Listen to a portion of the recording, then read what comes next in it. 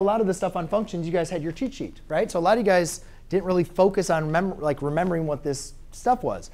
Um, but obviously for the EOC, like you got to make sure you're comfortable with the different types of notation.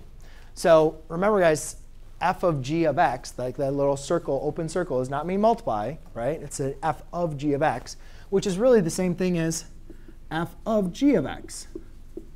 So basically what that means is what are you plugging into the f of x function? So we have the f of x function is square root of x. The g of x function is x squared. And again, if I had like something like this, if I said what's f of 1, you guys would just plug a 1 in for the x. So if I say what is f of g of x, that means you're just plugging in g of x into the f of x function. And we are provided with g of x, which is x squared. And we know that the square root and the power of 2 are, or the squaring and the square root are inverse functions of each other. So therefore, we're just going to get x,